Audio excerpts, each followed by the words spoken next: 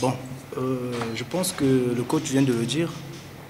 Jouer avec euh, une équipe comme le Sénégal, c'est vrai que vous êtes largement favori. Tous on le sait. Et jouer avec les joueurs de nom comme le grand Sadio Mané, c'est ça ne sera pas facile pour nous, mais on va jouer. notre état d'esprit, nous sommes là pour jouer et après faire un résultat positif. On va se battre. Je pense que jouer à une Coupe d'Afrique, c'est le rêve de, tout joueur africain. Jouer une Coupe d'Afrique. Donc euh, je pense que les objectifs, c'est d'abord euh, occuper les deux premières places et pouvoir se qualifier pour la Coupe d'Afrique. Donc ce sont les objectifs qu'on a, qu'on a en ce moment.